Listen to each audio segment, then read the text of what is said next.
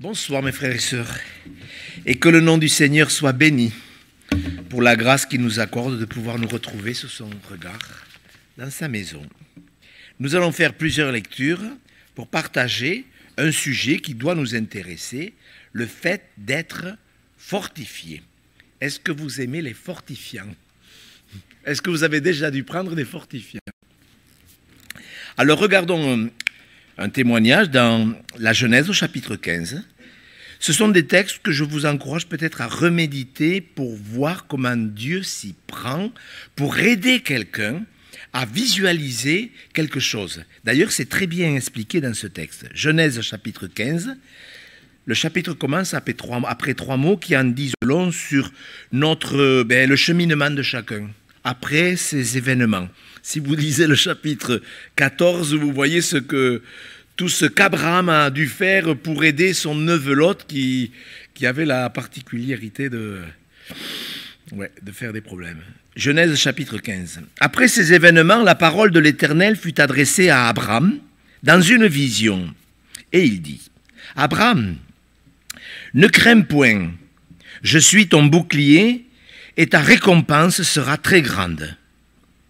Abraham répondit, Seigneur éternel, que me donneras-tu? Je m'en vais sans enfant. Et l'héritier de ma maison, c'est Eliezer de Damas. Et Abraham dit, Voici, tu ne m'as pas donné de postérité, et celui qui est né dans ma maison sera mon héritier? Alors la parole de l'Éternel lui fut adressée ainsi, Ce n'est pas lui qui sera ton héritier, mais c'est celui qui sortira de tes entrailles qui sera ton héritier. Et après l'avoir conduit dehors, il dit, Regarde vers le ciel et compte les étoiles si tu peux les compter. Et il lui dit, Telle sera ta postérité. Abraham eut confiance en l'Éternel, qui le lui imputa à justice. Amen. Une autre lecture, s'il vous plaît. Dans Romains au chapitre 4, nous voyons le témoignage encore une fois d'Abraham qui a évolué. Vous savez, dans la vie, on fait des progrès, normalement.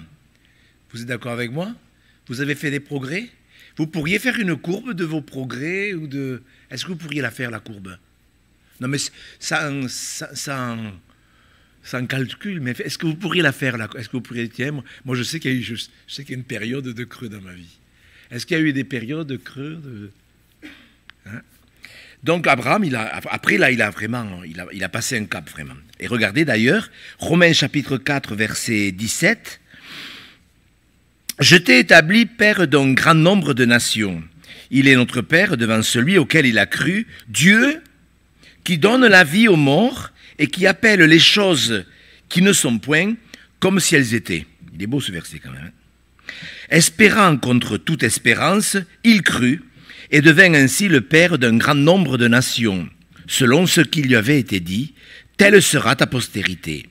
Et, sans faiblir dans la foi, il ne considéra pas que son corps était déjà usé, puisqu'il avait près de cent ans, et que Sarah n'était plus en état d'avoir des enfants, il ne douta point, par incrédulité, au sujet de la promesse de Dieu. Mais il fut fortifié par la foi, donnant gloire à Dieu, et ayant la pleine conviction que ce qu'il promet, il peut aussi l'accomplir. Amen. Vous pouvez garder cette page et aller avec moi dans l'Épître aux Hébreux, chapitre 6, où il nous est euh, donné une exhortation, une exhortation que j'espère nous, nous, nous retiendrons en conclusion. Hébreux, chapitre 6, la foi d'Abraham, la foi de, de, tous ces hommes de Dieu cités dans Hébreux 11, c'est bien que nous la limitions. Hébreux 6, verset 11. Nous désirons que chacun de vous montre le même zèle pour conserver jusqu'à la fin une pleine espérance. Vous voyez, dans Romain, il est parlé d'une pleine conviction. Là, une pleine espérance. En sorte que vous ne vous relâchiez point et que vous imitiez ceux qui, par la foi et la persévérance, héritent des promesses. Amen. Les hommes, les femmes qui euh, imitent ceux qui ont obtenu des promesses. Ça vous encourage d'obtenir des promesses? Vous en connaissez combien de promesses? Par cœur Vous en connaissez quelques-unes? Oui Vous en connaissez? Vous pouvez me répondre C'est pas. C'est beau de connaître des promesses quand même.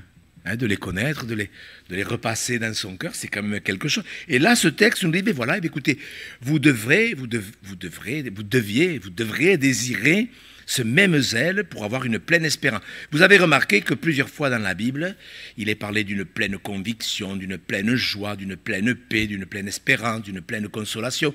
On voit quand même que la volonté de Dieu, c'est qu'on soit rempli. Ça se travaille, ça se travaille consciencieusement.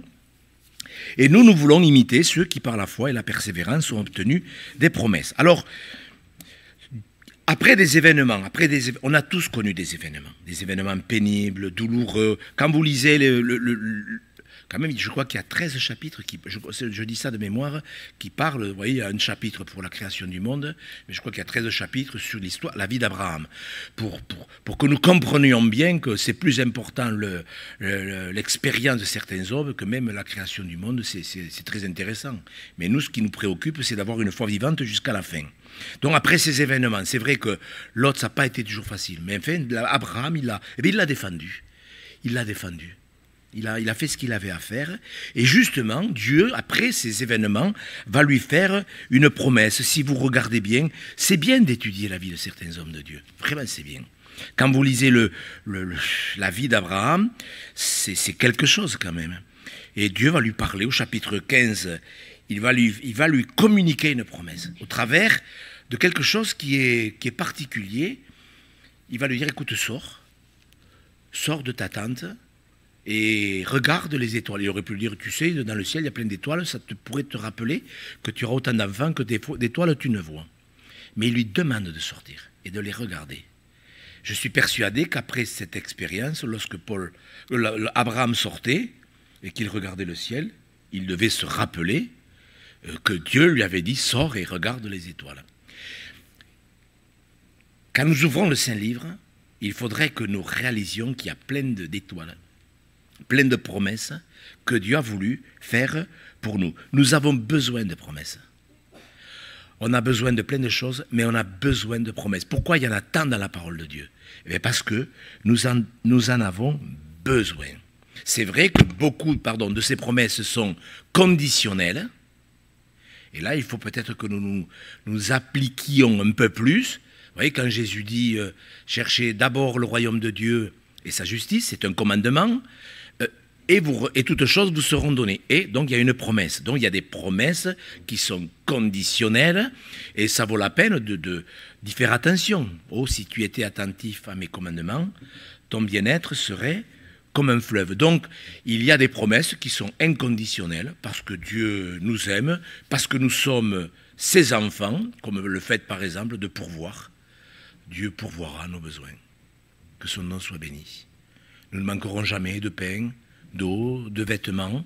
Que son nom soit béni. Ce sont des promesses que Dieu a faites il y a un état d'esprit. Abraham, il a développé un état d'esprit. C'est pour ça que j'ai lu ce texte dans Romains au chapitre 4, où il est arrivé un moment de sa vie, bon c'était tard, c'est vrai, mais il est quand même arrivé un moment de sa vie où il a décidé de ne plus douter. Dieu lui a fait la promesse à 75 ans qu'il aurait un enfant. C'est tard quand même, non? Vous trouvez pas? À 75 ans, tu écoutes Abraham, tu, non, c'est pas, c'est pas, c'est pas ton serviteur Eliezer, ton intendant qui, recevra l'héritage. Il a fait, vous savez ce qu'il a fait avec Ismaël, tout ça. Dieu n'a pas changé d'avis. Quand Dieu fait une promesse, il fait une promesse. Et Abraham, pendant 25 ans, il a décidé de faire confiance à Dieu. Et je voudrais ce soir que nous comprenions bien que nous devons reproduire la même affaire. Vous savez, quand Jésus, en préparant cette exhortation, je pensais à des textes, bien sûr. Euh, quand on prépare une prédication, on a le, le cœur envahi de textes. Et je pensais à Jésus quand il a dit Le Père recherche des adorateurs en esprit et en vérité.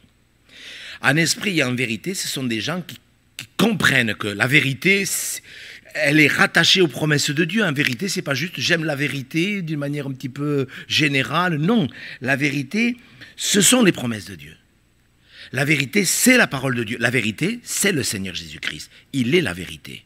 Et je voudrais vous, vous encourager à comprendre que euh, Dieu cherche des adorateurs en esprit en vérité. Ce n'est pas une méthode. C'est pas une méthode. Je, chante, j'adore Dieu en esprit en vérité, donc je suis un adorateur. C'est pas parce que vous chanteriez toute la journée, que vous adoreriez toute la journée, que vous êtes un adorateur. Vous, ne, vous êtes un adorateur quand vous obéissez à Dieu toute la journée. Ça, c'est sûr. Donc, c'est un, un état d'esprit c'est un état d'esprit. Je, je, me dois de comprendre ce que Dieu veut. Vous savez, regardez, je ne pensais pas le faire, mais il y a, il y a la communication d'une vision. Et puis après, au chapitre, au chapitre 17, je ne sais pas si vous avez fait attention au chapitre 17 de la Genèse. Il avance dans le plan de Dieu. Il avance vraiment dans le plan de Dieu. Et au chapitre 17, il commence à lui parler. Il commence à lui parler. Et au verset 22, regardez, parce qu'il y a des choses que Dieu veut vous dire. Est-ce que vous savez qu'il y, y, a des choses que Dieu veut vous dire? Regardez, au verset 22. Je ne pensais pas parler de ça, mais c'est pour que vous compreniez bien que lorsque Dieu nous communique quelque chose, c'est qu'il a aussi, a un projet derrière. Vous voyez au verset 22, lorsqu'il eut achevé de lui parler. Est-ce que vous savez que Dieu a des choses à vous dire par rapport? Alors, il lui, regardez ce qu'il lui dit. Ah, je sais, il va lui changer de nom. Il va changer son nom. Est-ce que Dieu était obligé de changer le nom d'Abraham en Abraham? Il va lui parler d'intégrité, de, la nouvelle alliance, de projet, de circoncision, de sa femme, de son fils, d'Ismaël. Regardez tout, ce à quoi, tout ce, tout ce qu'il va lui parler.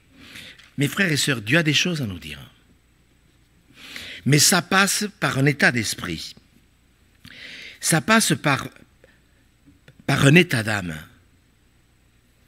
Je voudrais que vous compreniez bien que lorsque Dieu utilise quelqu'un, bénit quelqu'un, il y a tout un état d'esprit. Et dans Romains, on voit bien, on voit bien cette affaire où Abraham prend la décision de ne plus douter faut bien faire la différence entre être incrédule et douter. Beaucoup de chrétiens mélangent un peu les deux. Les deux. L'incrédulité, c'est un choix. Quand la Bible dit, mais pour les lâches, les incrédules, leur part sera dans les temps ardents de feu. L'incrédulité, c'est un choix. Je choisis de ne pas croire en Dieu.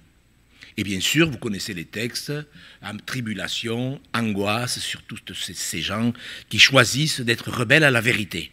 Mais honneur, gloire et paix pour ceux justement euh, qui cherchent ces choses, à savoir le royaume de Dieu. Donc, Abraham, il a, eu ses moments difficiles, euh, comme nous tous.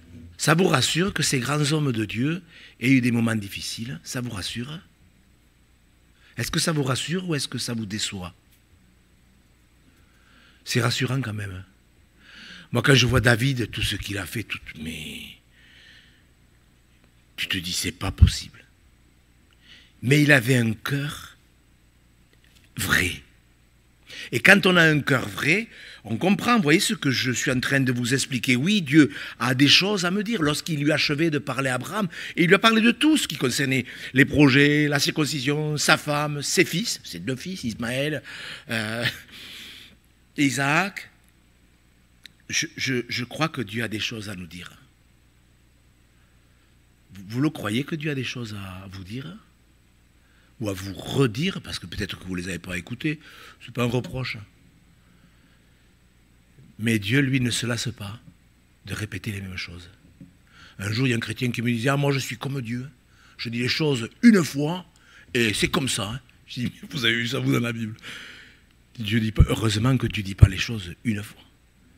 Vous vous rendez compte? Le gars, vous croyez comment on peut être dans, l'erreur.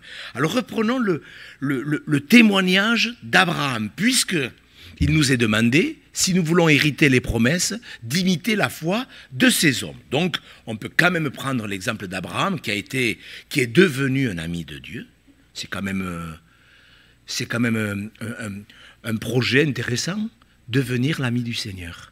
Arriver à ce point, hier j'étais travaillé par ce texte, je ne pensais pas en parler, mais quand il est dit l'onction nous enseigne, on n'a pas besoin d'être enseigné quand on a l'onction, mais j'ai compris, j'ai vraiment compris hier soir quelqu'un qui est vraiment en communion avec Dieu, qui a une conscience pure, je crois que le Saint-Esprit l'enseigne. Vraiment. Donc, on a besoin d'être enseigné. Après les événements que vous avez traversés, que nous avons tous traversés, il y a des choses sur lesquelles Dieu veut nous amener. Maintenant, quand j'étudie la Bible, que, que, ça fait 40 ans que je l'étudie, je vois les progrès des hommes de Dieu dans la Bible. C'est quelque chose qui m'encourage énormément. Quand Dieu permet que certains hommes de Dieu fassent certaines expériences parce qu'ils ont fait des progrès. On le voit beaucoup dans la vie d'Ézéchiel, par exemple.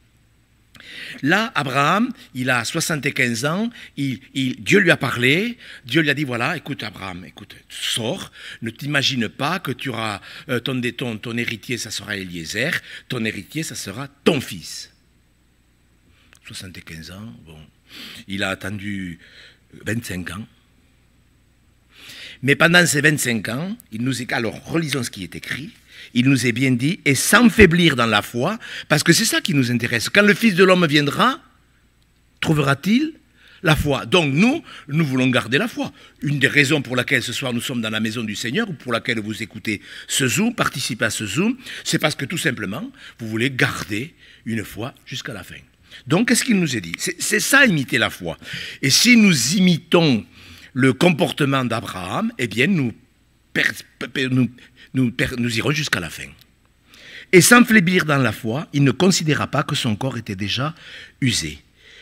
Donc il ne douta pas.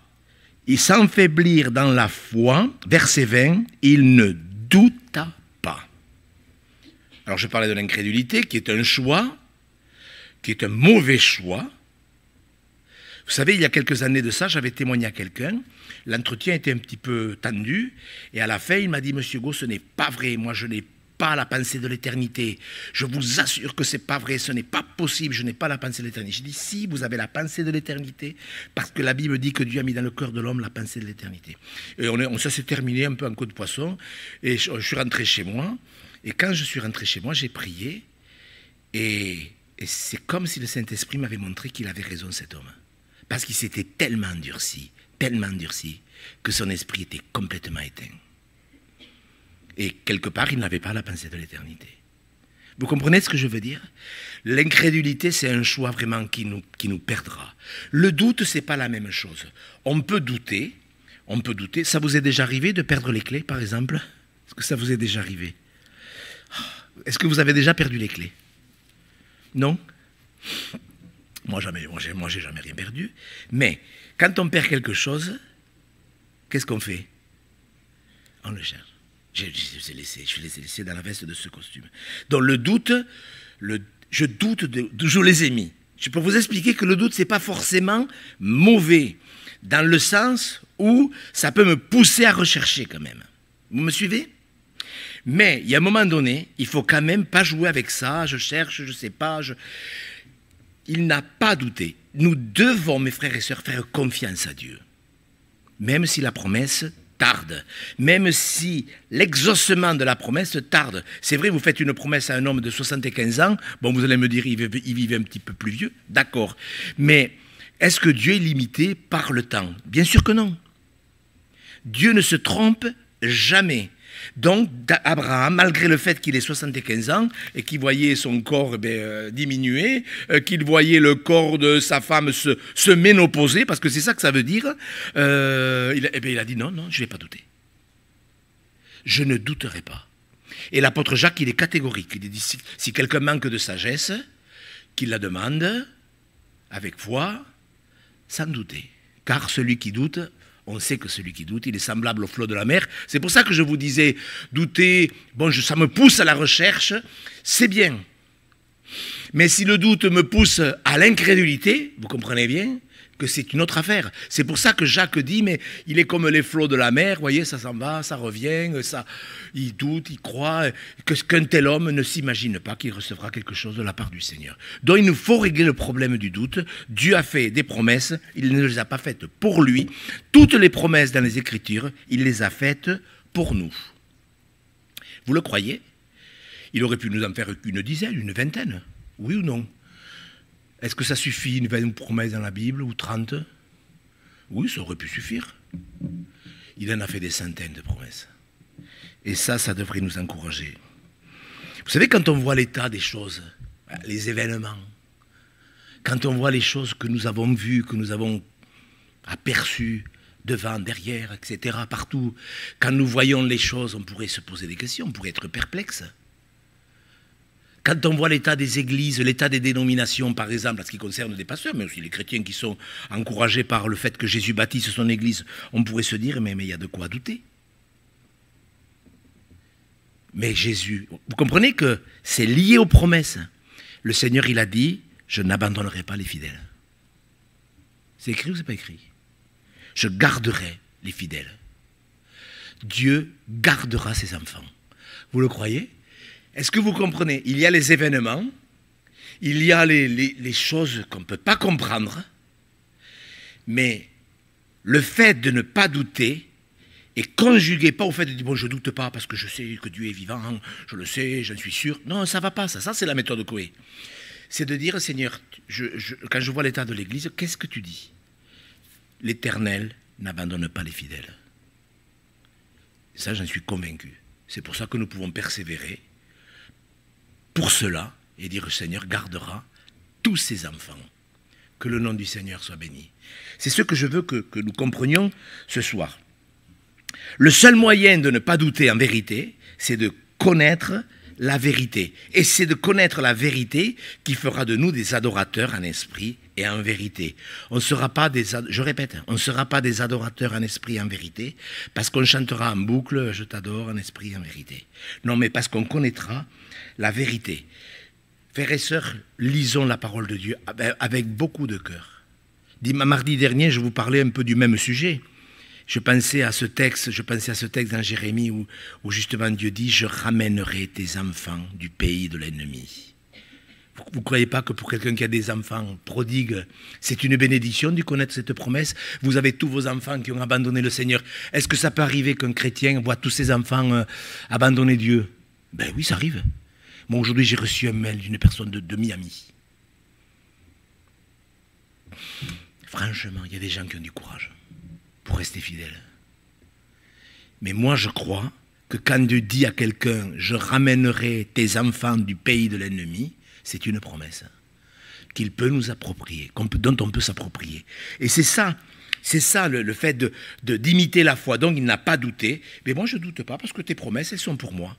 Elles sont pour qui les problèmes? Pour, pour des gens, pour une, pour une, comment dirais-je, une élite dans l'Église? Est-ce qu'il y a une élite dans l'Église? Est-ce qu'il y a des gens au-dessus des autres? Moi, je ne crois pas. Je crois qu'on est tous sur le même pied d'égalité et que Dieu ne fait pas de favoritisme. Je crois l'avoir lu dans un livre, cette affaire. Il ne douta pas, il n'a pas considéré son corps, ni celui de sa femme. C'était bien? Il n'a pas considéré son corps, ni celui de sa femme, qui elle était un peu plus jeune puisqu'elle avait que 90 ans. Mais il n'a pas considéré le corps de son épouse, ni le sien. Et vous savez, quand quelqu'un veut avoir une foi euh, vivante, une foi qui fera que l'on obtiendra les promesses, comme on l'a lu dans Hébreu chapitre 6, il va de soi que nous ne devons pas considérer les circonstances. Et là, la Bible abonde de textes où Dieu a encouragé des hommes à ne pas regarder les circonstances. Je parlais de l'état de l'Église. L'état de l'Église, vous vous rappelez quand Dieu a, vu Zorobabel qui était un peu découragé quand ils ont voulu reconstruire euh, le temple. Je ne sais pas si vous connaissez le contexte du prophète Zacharie, mais il n'y avait plus rien. Le peuple était en déportation, les murailles étaient détruites, le peuple était, le, temple, les murailles étaient détruites et le peuple était en, Babylone. Il fallait reconstruire. Et il n'y avait rien. Et regardez le chapitre 4 de Zacharie, et vous voyez comment Dieu va parler à ce prophète, combien le prophète va parler à Zorobabel, le chapitre 4, je crois, c'est pour Zorobabel, au chapitre 5, c'est pour Josué. Je vous dis ça pour vous expliquer que quand vous lisez la Bible, on ne se rend pas trop bien compte, mais Dieu a une parole pour chacun. Il a une parole pour l'un, il avait une parole pour le sacrificateur, il avait une parole pour le gouverneur, et Dieu dit à, Dieu dit à, Zorobabel, écoute Zorobabel, c'est pas par la force, ce n'est pas par la puissance, c'est par mon esprit. Qui es-tu, grande montagne? Devant Zorobabel, tu seras aplani. C'est quoi les grandes montagnes? C'est les grands problèmes. Vous, avez tous eu un ou deux ou trois ou dix, je ne sais pas, grands problèmes. Je ne sais pas la, hauteur des montagnes, comment vous les situez. Est-ce que vous avez déjà eu un grand problème? Un grand, je dis pas, il y a des petites topinières, des fois on les considère comme des montagnes, mais je parle d'un vrai problème. Est-ce que Dieu est capable d'aplanir les montagnes? Quand on lui fait confiance Zorobabel, c'était le gouverneur, c'était, quelqu'un de bien, Zorobabel. Mais bon, il, était gouverneur parce que comme le pays était occupé, eh il ne pouvait pas être roi d'Israël. Mais dans cette configuration où tout allait mal, le Seigneur lui adressait une parole. C'est pour ça que je vous dis qu'il y a des étapes. Il y a des étapes, il y a des événements où Dieu nous demande, regarde, sors de ta maison et regarde. Là, il lui a fait voir les étoiles. Bien sûr qu'il n'allait pas dire euh, Prends l'Ancien Testament et regarde l'histoire du père d'Isaac, tu verras ce qu'il a vécu. Vous comprenez bien? Il ne pouvait pas lire sa propre histoire. Il ne pouvait pas euh, lire les Saintes Écritures. Mais est-ce que le Seigneur, par le Saint-Esprit, pourrait nous dire Mais regarde mes promesses dans le livre de Zacharie, dans, tel, dans le livre d'Ésaïe? Vous ne croyez pas qu'il y a des promesses extraordinaires? Mais vraiment extraordinaires. Il ne faut pas considérer les circonstances, quelle que soit la durée de l'épreuve, quelles que soient les années qui passent, ou même humainement, ce n'est pas possible. Je, non, je ne peux pas me marier, je suis trop vieux maintenant. Je l'ai entendu combien de fois ça?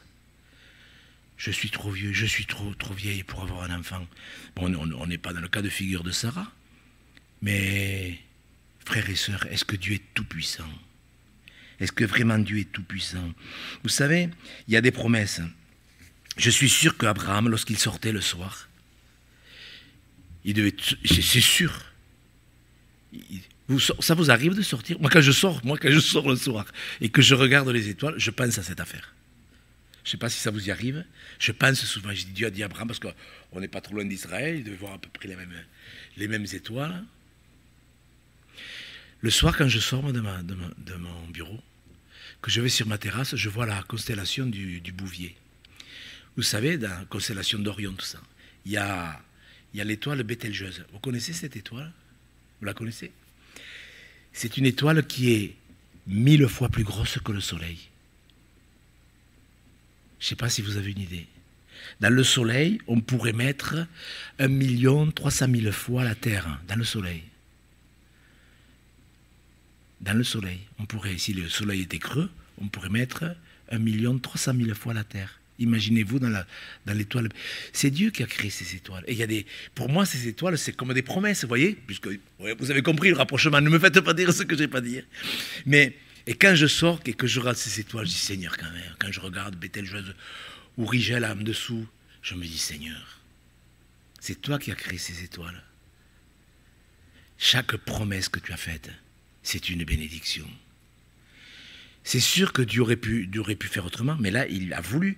Et, je crois qu'à des moments, nous avons besoin de, nous souvenir des promesses. Vous les, les repassez, les promesses, dans votre cœur C'est biblique de repasser des paroles dans son cœur Vous connaissez pas une certaine jeune fille qui s'appelait Marie, qui repassait ces choses dans son cœur Justement, elle devait repasser, entre autres, une promesse que Dieu lui avait faite, parce que Dieu lui avait dit qu'elle allait avoir un fils euh, sans avoir de mari. C'est déjà, ça commence à être un peu compliqué. Et, Dieu lui avait dit, mais l'ange, écoute Marie, rien n'est impossible à Dieu. Je crois que Bételgeuse, elle fait partie de ses promesses, de ses grandes promesses. Rien n'est impossible à Dieu. Vous comprenez les gens qui héritent les promesses? Ce sont les gens qui ne doutent pas des promesses et qui ne considèrent pas les circonstances. Des gens qui non, je ne considère pas ça dans ma maison, dans mon église, dans ma famille, dans mon travail, je ne sais pas les circonstances, les circonstances et les événements que vous êtes en train de traverser un, véritable chrétien qui est, qui est rempli de confiance et qui, qui plutôt qui développe sa foi pour que sa foi devienne une pleine confiance, qui développe la lecture avec son cœur des promesses pour que ces promesses deviennent de véritables convictions, avoir une pleine conviction. Comment cela se fait-il qu'il y a des chrétiens qui sont pleins de convictions et il y a des chrétiens qui sont tout le temps en train de râler? Vous, vous, vous en connaissez des gens qui sont tout le temps en train de râler? Non? Mais c'est bien. Mais c'est pénible de, vivre avec des gens qui râlent tout le temps. Il y a des gens qui ont une pleine conviction. Vous savez, qui accusera les élus de Dieu? Qu'est-ce que c'est la suite C'est Dieu qui Est-ce que c'est une promesse? Est-ce qu'on vous a déjà accusé? Est-ce qu'on vous a déjà accusé dans une situation ou dans une autre? Mais quand vous voyez votre cœur regarde toutes ces étoiles, qui accusera les élus de Dieu Je vais vous donner ce témoignage parce que ça m'est revenu pendant que je préparais la prédication. Il y a deux ans, il y a un responsable national d'une dénomination qui m'appelle, il me dit, écoutez, monsieur Gauche, je, vous appelle parce que j'aimerais que vous... J'aimerais que vous appeliez le principal, le, le, responsable national de notre dénomination, parce que je voudrais que vous veniez prêcher dans nos églises, mais voilà, vous êtes trop controversé. Il y a des gens qui disent que vous êtes un diviseur parce que vous avez, vous créé une fédération, etc. Il y a des gens qui disent que vous êtes un homme de Dieu parce que vous avez eu le courage de faire ce que vous avez fait. Téléphonez. Je dis non, non, je n'ai pas à me téléphoner. Moi, ça m'est égal qu'on m'accuse, ça m'est complètement égal. Et je pensais à ce verset que nous n'avons pas à nous recommander nous-mêmes, que c'est Dieu qui nous recommande. Et ça fait six mois tous les responsables nationaux de ce mouvement m'ont appelé pour que j'aille leur faire des séminaires pastoraux. Pourquoi je dis ça? Ben Parce que j'ai lu, c'est Dieu qui justifie. Vous le croyez? Vous le croyez que c'est Dieu qui justifie? Là, je prends un exemple personnel, parce que parce que n'y a rien de mieux que de donner un témoignage personnel. Mais chacun d'entre nous, nous pouvons faire confiance à Dieu. C'est Dieu qui justifie. Alléluia. Ça, c'est des grosses étoiles aussi. On pourrait en prendre des. Vous savez, des fois, ça vous arrive de ne pas avoir envie de prier? Est-ce que ça vous arrive? Vous ne le direz pas que ça m'arrive à moi aussi, que ça ne sorte pas d'ici. Je vous avertis. Des fois, moi, j'ai pas envie de prier. Mais je regarde ces promesses qui sont comme des étoiles. Tout pouvoir m'a été donné dans le ciel et sur la terre. Un que j'ai marqué, on va le lire. Vous savez, les combats. Vous avez des combats? Est-ce que vous avez des combats intérieurs, des, des luttes? Est-ce que vous en avez? Vous voyez, moi, souvent, c'est l'étoile, une étoile. Acturus, celle-là voyez, on va prendre euh, Psaume 25. Regardez ce, regardez ce, verset. Vous comprenez comment un homme peut avoir une pleine espérance, une pleine confiance. Vous savez, il y a des chrétiens, lorsqu'ils parlent de leur combat, c'est n'est pas, réjouissant vraiment. Qu'est-ce que je mène en ce moment Si vous saviez comment galère. Mais regardez ce que, ce que David dit. Regardez, le psaume 24, oui c'est ça, j'ai dit 25, 24. Psaume 24, verset 8. Ça, c'est une étoile merveilleuse. Qui est ce roi de gloire? L'éternel fort et puissant, l'éternel puissant dans les combats. Ça ne vous rassure pas que dans vos combats, ils combattent pour vous? Vous comprenez pourquoi Dieu dit après ces événements, je, Dieu avait en vue. Bien sûr que 25 ans allaient passer. Bien sûr que c'est long. Bien sûr que nous, on aimerait de suite être exaucés. Vous aimeriez être exaucé le lendemain quand vous faites une prière? Hein? Bien sûr, bien sûr, c'est normal. Mais Dieu, lui, il sait quand est-ce que c'est le meilleur moment. Abraham, il a choisi de ne pas douter, de ne pas considérer son corps. Qu'est-ce qu'il pouvait faire? Écoutez-moi bien, je conclus avec cette pensée. Je vous demande de bien écouter la conclusion. Parce que beaucoup de chrétiens d'un côté, il nous est demandé d'imiter la foi, mais il ne nous est pas demandé d'imiter ce que les gens ont fait. Avoir la même confiance que quelqu'un, c'est une chose. Imaginez David. Euh, David, qu'est-ce que Dieu lui a demandé quand il était qu'un adolescent? Dieu lui a demandé de tuer Goliath. Est-ce que nous, on va imiter la foi, il faut que j'imite la voix de Goliath, ah, il faut que je cherche le plus grand basketteur de Toulouse et que je m'en occupe pour m'entraîner. Est-ce que, frères et sœurs, est-ce que, tiens, ah ben Noé, il a bâti une arche, et eh bien moi je vais construire euh, un bateau. Bon, vous allez me dire, mais c'est ridicule ce que tu dis. C'est ridicule, je ne suis pas sûr. Parce que j'ai l'impression qu'il y a beaucoup de chrétiens qui veulent faire exactement les mêmes expériences que les autres. Et on n'a pas à faire les mêmes expériences que les autres. On a chacun nos événements, on a chacun nos circonstances, on a chacun notre époque. Euh, bien sûr que Noé, il a dû construire une arche. Il a fait ce que Dieu lui a demandé. David, c'est vrai qu'il a commencé à sortir du bois euh, en tuant Goliath. C'est ce que Dieu lui a demandé. Qu'est-ce que vous vouliez qu'Abraham fasse? Il a fait une chose. Vous avez vu ce qu'il a fait? Il fut fortifié par la foi en donnant gloire à Dieu. Mes frères, vous n'avez pas envie de l'imiter? C'est ça. La progression dans l'exaucement aussi, et dans, la progression dans les progrès. Marcher de progrès en progrès. Peut-être que Dieu va vous parler de ça, de ça, de ça, comme je l'ai dit dans euh, Genèse 17. Avant, il y a une promesse, mais ça passe incontournablement par un état d'esprit. Et Abraham, il nous a dit, qu'est-ce que vous vouliez qu'il fasse? Qu'est-ce que vous vouliez qu'il fasse? Quand votre femme est stérile et que vous avez 100 ans et que votre femme n'en a que 90 Qu'est-ce que vous voulez faire? Il a glorifié Dieu. Et je pense qu'on serait tous vraiment bénis si dans les événements dans les circonstances que nous traversons, nous avions ce réflexe, non pas de trouver la méthode Coué, ah j'ai compris, mais de glorifier Dieu. On, le relit, je vous demande de le relire d'ailleurs. Romains 4, Abraham fut fortifié par la foi, c'est la suite de mardi dernier, mais Abraham, il fut fortifié par la foi, il n'a fait qu'une chose, il a donné gloire à Dieu. Vous comprenez pourquoi il nous est demandé d'amener nos pensées captives à l'obéissance? Vous savez, quand Paul dit, mais d'amener les, pensées captives, qu'est-ce que ça veut dire? Eh bien, c'est d'amener nos pensées à, cet état d'esprit. Mais c'est vrai, c'est pour ça qu'il faut connaître les promesses. C'est pour ça que moi, j'en ai noté je ne sais pas combien mais pas pour les apprendre par cœur, pour que le Saint-Esprit puisse me les rappeler, parce que c'est quand même biblique ce que je vous dis. Il nous est demandé d'amener nos pensées captives. Pourquoi il nous est demandé de rendre continuellement grâce? D'après vous, pourquoi Dieu nous demande de rendre continuellement grâce à Dieu le Père pour toutes choses, car c'est à votre égard la volonté de Dieu en Jésus-Christ? Ça vous est jamais arrivé de vous poser la question, mais pourquoi Dieu me demande de bénir l'Éternel. Je bénirai l'Éternel en tout temps. Qu'est-ce que ça veut? Il teste notre patience? Il nous éprouve pour voir si on est vraiment obéissant? Non. C'est un état d'esprit. Seigneur, je choisis de te faire confiance. Ton temps ne me, convient pas, mais je te demande pardon. Tu n'as pas fait ce que j'aurais aimé que tu me donnes un enfant plus tôt. J'aurais aimé, Seigneur, que l'augmentation avoir un peu plus tôt. Pas de travail, de salaire. J'aurais aimé, Seigneur, avoir ça un peu plus tôt. Je crois que ce n'est pas très grave.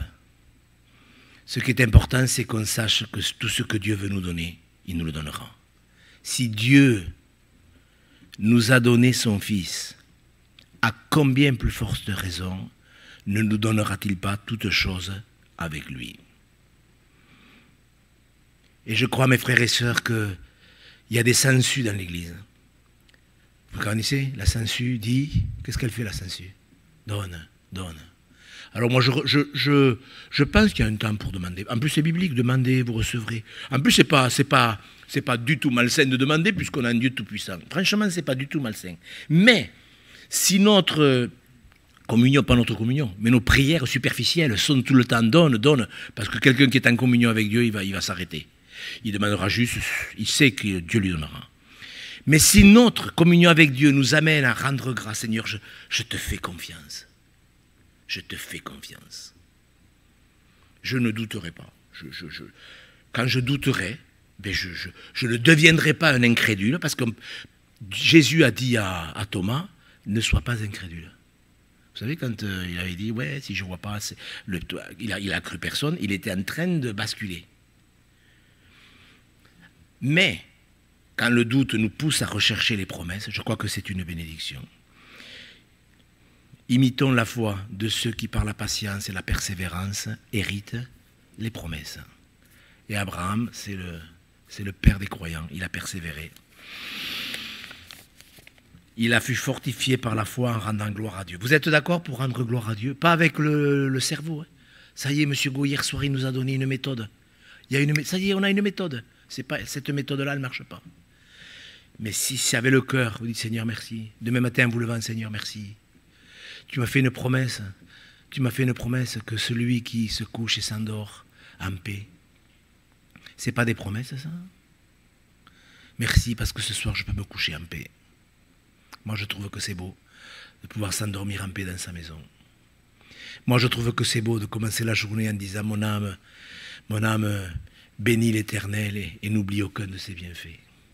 Je vais peut-être rester un quart d'heure sur la rocade, dans les bouchons. Et bien, ce quart d'heure-là, je vais, je vais l'utiliser. Amen. Il fut fortifié par la foi en donnant gloire à Dieu. On, lui demande de l'aide Vous êtes d'accord qu'on lui demande de l'aide? Est-ce qu'il va entendre nos prières? Oui, il va entendre. Remercions-le. Terminons cette réunion en le remerciant. Vraiment, j'aimerais que vous disiez Amen à ma prière, non pas parce que c'est ma prière, mais parce que ce sera la vôtre. Ça sera la nôtre. Notre Père, tu as demandé à Abraham de sortir de sa tente pour que chaque fois qu'il verrait les étoiles, il se rappelle qu'il aurait autant d'enfants et de, et de petits-enfants que toutes les étoiles dans le ciel. Nous te remercions car toutes les fois que nous ouvrons le Saint-Livre, nous voyons également toutes ces promesses que tu as pris le temps de nous, de nous apporter, pour que nous aussi, nous réalisions que si tu nous as donné ton Fils au calvaire, tu nous donneras toutes choses en plus. Pardon Seigneur pour toutes les fois où nous avons presque basculé dans l'incrédulité. Pardon Seigneur pour toutes les fois où notre impatience euh, nous a fait du mal. Nous choisissons nous aussi d'imiter la foi de ces hommes, parce que nous voulons hériter les promesses que tu as mises à notre disposition. Vraiment Seigneur, nous voulons être de ces hommes et de ces femmes qui amenons les pensées captives à l'obéissance.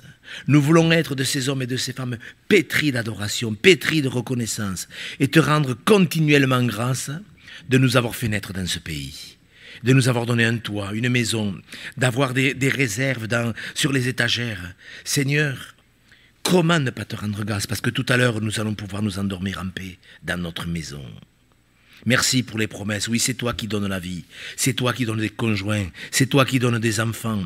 C'est toi qui donnes la prospérité. C'est toi qui, qui donnes toutes choses. Nous, nous le disons avec, le roi David, que tout vient de toi. Nous le confessons, que toute grâce excellente et tout don parfait descendent d'en haut. Merci Seigneur pour cette soirée. Merci pour ces chants. Merci pour ta parole. Merci pour la prière. Et merci pour la communion fraternelle. Que ton nom soit béni, Seigneur Jésus. Amen.